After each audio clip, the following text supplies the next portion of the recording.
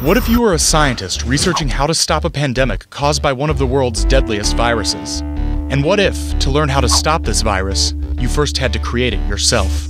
That's exactly the dilemma facing the virologist community researching H5N1, an experimentally developed avian flu strain transmittable to mammals and capable of killing half of those it infects. After Dutch virologist Ron Fouchier developed the H5N1 strain to help epidemics and bioterrorism officials prepare for disaster scenarios, research was halted in January 2012 at the urging of several governments, which feared accidental release of the engineered germs. Now, in a letter published to the journal Nature, more than 40 academics behind the research announced they will restart their work, arguing H5N1 continues to evolve in nature, and virus transmission studies are essential for pandemic preparedness.